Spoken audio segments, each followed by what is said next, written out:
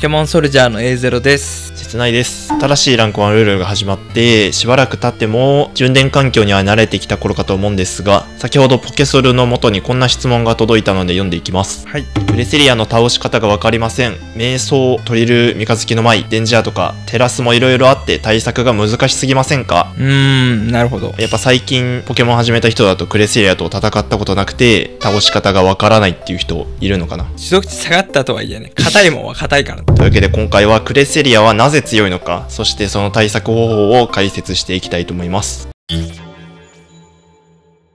まずはクレセリアの強さについて、まあ基本的な情報を見ながら考えていきたいと思います。まず種族値が先ほど言った通り、前の世代と比べて弱体化されて、合計580族。HB のクレセリアって。HBD 居住音ぐらい。756振りの居住音ぐらい硬いから。まあキョジオーンですらもどうやって倒すんだって言ってる人もいるわけだから、そう考えたらクレセリアなんて倒せないわな。ディンルーとかと比べるとそりゃ柔らかいけど、ディンルーは回復技ないから。まあ、そういうキョジオーンとかディンルーと比べても素早さめっちゃ高いから、電磁波とか使ってちょうどツツミとかカミとかパオジアン抜けるラインでもあるから、電磁波採用っていうのが、まあ、一定数いるのもうなずけるよ。次タイプ見ていくと、まあ、エスパータイプはまあ比較的弱いタイプと言われていて、まあ前の世代ではそれが足を引っ張って、まあ、活躍の幅っていうのは狭かったけど今作はテラスタルでそれを補えるから改めて注目されてるエスパーって攻めにしても受けにしても、まあ、そんな強くないけどそれはタイプ変われば受けも強くなるし型によっては殴っていく型もできるわけで。そうなったら攻めの性能ってのも上がっていくから。特性が浮遊で、まあ、今までは別になんともない特に注目されてなかったんだけど地面弱点のテラスタルと合わせることで一気に相性抜群になっていく。特に電気になったらね唯一の弱点が無効になるわけで弱点なし超高耐久ポケモンが誕生するってことだから。この動画撮影してるのが7月7日なので、その時点での使用率を確認して、そこから考えられる主な型をいくつか紹介していきたいと思います。まず、この7月7日時点では、全体の使用率は第10位。結構高いねかなり使われてるまず大事なのが技だと思うので見ていきます。補助技は月の光瞑想の使用率が高くて、時点で三日月の舞電磁波トリックルーム。月の光は受けポケモンとして成立させるために、まあ、ほぼ必須でしょうこれが入らないパターンというのは、本当に三日月のマイトリックルームの裏に繋ぐことしか考えない場合は、月の光入れなくていいかってなってるのかな。そうだね別に月の光入れて、月の光、三日月のマイトリックルーム、ムーンフォースとかでもいいからね。あもう全然問題ない過去世代だと瞑想身代わり2ウェポンとか瞑想3ウェポンとかいたけど今のルールだとそんなに強くないかなとも思うから、まあ、ほぼほぼ月の光は入ってくるんじゃないかな月の光ともう一つ補助技入れるなら、瞑想または電磁波みたいな感じなのかな。で残り2つ攻撃技みたいなのがまあ割とテンプレなのかなって思うけど、まあ、特に瞑想だよねさっき言った電気テラスで弱点なくして、瞑想積みまくる。まあこれを対策知らないと手も足も出ず完封されるというのは、まあこれは本当にそうだね攻撃技で一番使用率高いのはムーンフォースだけど、これはどの方でも優先される技なんかな。まあ、ワンウェポン何にしようかなってなったと無効タイプないし、まあ、特に物理ポケモンに対しては弱点つけるポケモンが多いから、まあ、役割対象を殴るっていう点で、まあ、結構有用なんじゃないかな足パ入れるならさすがに瞑想だよね。瞑想なしのアシパはもういや本当に意味わかんないアシパの次に来るエスパー攻撃技がサイコキネシスの7.4%しか採用されてない。まあ殴る性能が低いクレセリアでわざわざエスパータイプの範囲っていうのを欲してないって感じかな格闘殴るんだったら悪ラオスとかも殴れる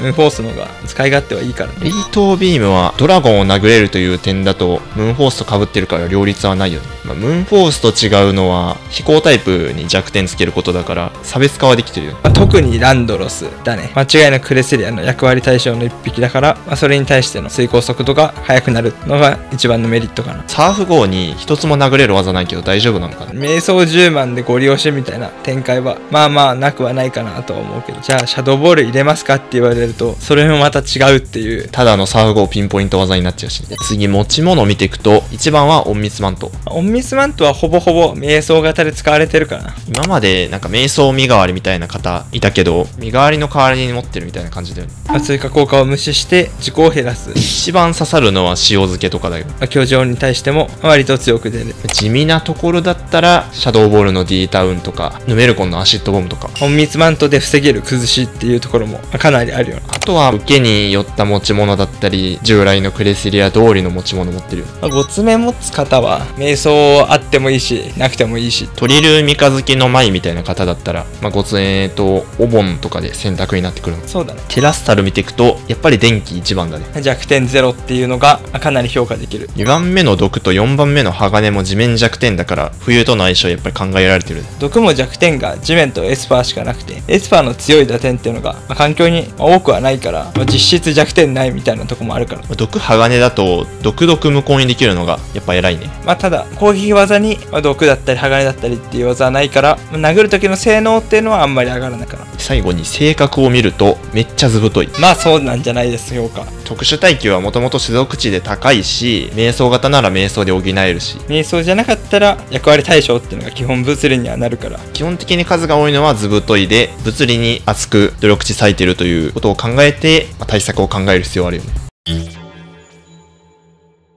というわけで、以上がクレセリアの強さの概要だったんですが、それを踏まえて対策方法をいくつか紹介していきたいと思います。まず、補助技を引き放題打たせない。分かりやすく受けポケモンとしての対策方法だ先ほど技の使用率のところでも話した通り、クレセリアの方全てに通じているのが補助技を使うこと。分かりやすいのだと挑発とかこだわりトリックとかあとまあアンコールとかもそうだねこういうのを活用すると、まあ補助技ありきのクレセリアの強みは、まあ大幅に下がるよ。特にトリックはトリル三日月の前みたいなすぐ退場するような方じゃないクレセリアにとってはかなり痛手というかもうほぼ機能停止 HB 瞑想クレセとかでスカーフトリックされたら悲しいよ。瞑想が積んだクレセリアごとくじゃ全然相手倒せないからそれで足場採用とかだったら本当に置物だよね。ただなんか数値高すぎて瞑想に対して出てきたサーフ号にトリックでスカーフもらいながら電気テラス10万とか連打するとサーフ号側が負けるみたいなことは簡単に起きうるけどただトリックするだけじゃ対策にならないこともある。そうね次が超火力物理技で殴る。これは瞑想型に対する対策だねもう瞑想で特殊が上がっちゃって倒せなくなっちゃうから、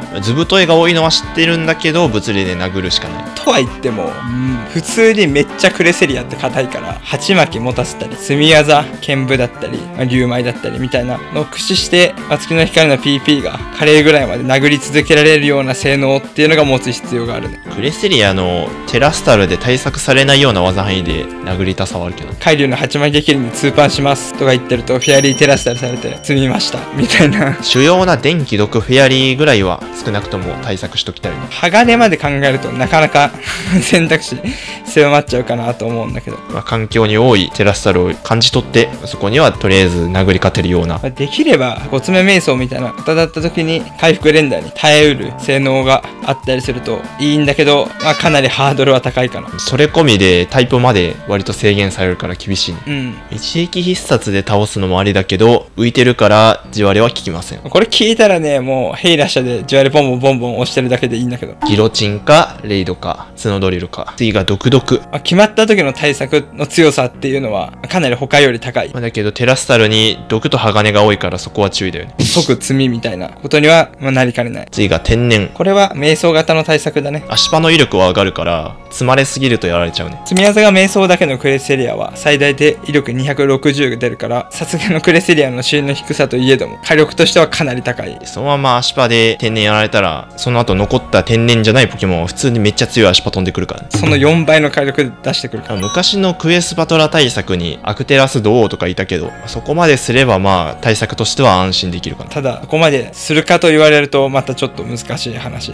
銅のテラスタルマジで切らねえな。じゃあ、一旦悪にしてみるか、みたいな。アクテラスにしたところで、クレセリア倒せない可能性もあるしな。そうだね。お互い突破できないみたいなパターンになることは全然あり得る。最後が、テラスタルを強要させること。ここで言うテラスタル強要は、クレセリアのテラスタルを切らせることより、他にテラスタルを切らせること。テラスタルが残らなくて、今まで通り弱いエスパータイプのクレセリアだから、なんとかなるでしょうという。ゴーストタイプと悪タイプの強いポケモンはかなりいっぱいいるから、まあパオジアンの噛み砕くで倒せるようになったり、ハバタクカミのシャドーボールで倒せるようになったりみクレセリア使いが、クレセにしかテラス切らねえっていう、確固たる意志があるんだったら通用しないけどね。あ、そうだね。専門で弱点について倒すっていう発想でクレセリア対策しようとすると、本当に一瞬で積むから。結論としては、まあ、この中の対策を一つだけ入れるっていう対策というよりは、この中のいろんな対策を構築に組み込んで、柔軟に戦術して対応できるように。まあ相手の構築次第ではヒードラン出せないこともあるだろうから、アンコール包み入れとこうとか。どの方のクレセリアにも確実に勝つっていうのは不可能だから、数が多い、まあ、瞑想型だけの対策に絞るみたいな考え方もありだよ。というわけで、クレセリアの強さと対策方法を解説していきました。使用率的には今10位なんですけれども、この動画上がってる頃、何位になってんだろう。想像もつかないね。15位とかそんな落ちるようなこともなければ、なんかこっからどんどん上がって、なんか5位、6位とかまで行くっていうこともまあ正直ないかなとは。一旦今季はこれぐらいうろちょろするのかなっていう感覚。まあそれぐらい。クレセリア硬いけど、同じぐらいパオジアンとか羽ばたく神も強いから、もうご利用したらなんとかなるみたいなね。意外とどうにかな。俺はこんなポケモン使ってクレセリアかもってるぜってのがあったらぜひコメントで皆さんに教えてあげてください。自分のドヤ顔クレセリア対策一ついいですか？じゃあ。お、来た。封印瞑想羽ばたく神。おー。で、ボコろうとしたけど、まあ、そこまではしなくてもいいかなっていう結論になりました。真似する人が出てきて、レートめっちゃ溶けてたらおもろいね。ご利用は計画的に。これからもポケモン対戦がより楽しくなる動画をアップしていきますので、チャンネル登録、高評価をよろしくお願いします。お願いします。